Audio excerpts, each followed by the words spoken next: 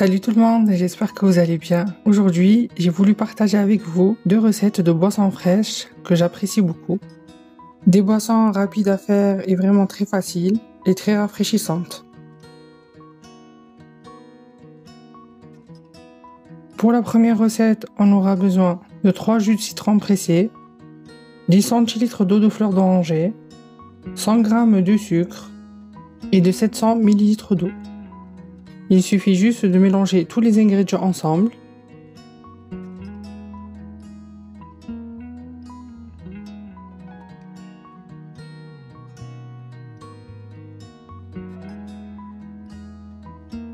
J'ai rajouté quelques tranches de citron et quelques glaçons pour le côté fraîcheur.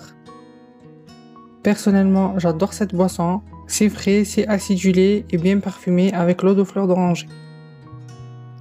Pour la deuxième recette, c'est une pina colada maison avec euh, seulement trois ingrédients qui restent vegan et sans gluten. Du coup, on aura besoin d'une boîte de tranches d'ananas, de 500 g, de 40 g de sucre et de lait de coco. Je vais utiliser juste 700 ml.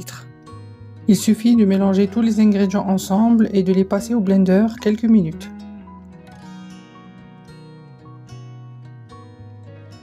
J'ai ajouté juste quelques glaçons et franchement, j'espère que vous allez essayer cette recette. Vraiment, elle est très très bonne, très facile et tellement rafraîchissante. Si vous refaites ces recettes-là, n'hésitez pas à me les envoyer sur mon Instagram.